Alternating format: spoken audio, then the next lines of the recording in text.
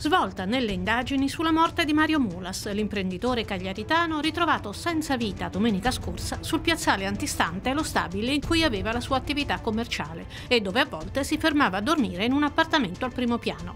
Due persone, un uomo di 46 anni e una donna di 39, senza fissa dimora, sono stati arrestati con l'accusa di rapina e morte come conseguenza di altro reato.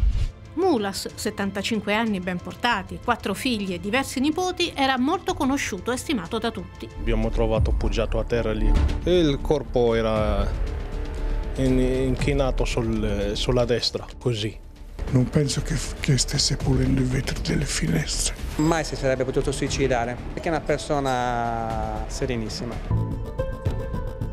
L'autopsia ha evidenziato diverse fratture sul corpo e alla testa compatibili con una caduta dall'alto, presumibilmente da una finestra situata a 6 metri di altezza. In un primo momento si era pensato a un gesto estremo, ma la mancanza del portafogli, del cellulare e di alcuni oggetti personali dell'imprenditore ha indirizzato le indagini diversamente. Inoltre, la porta del suo appartamento è stata chiusa a chiave dall'esterno. Potrebbe essere stato aggredito. Magari qualcuno è entrato lì era già dentro.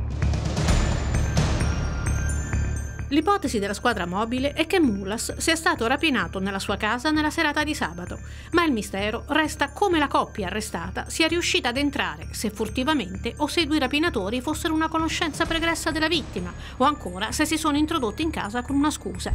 I due lo avrebbero rapinato, sottraendogli il cellulare per impedirgli di chiedere aiuto, e poi lo avrebbero chiuso in una stanza, dove la vittima si sarebbe calata dalla finestra, cadendo sul selciato di cemento e morendo sul colpo dopo aver sbattuto la testa. I due rapinatori sarebbero poi fuggiti con un furgone rubato nel piazzale e ritrovato abbandonato nel quartiere Sant'Elia a Cagliari.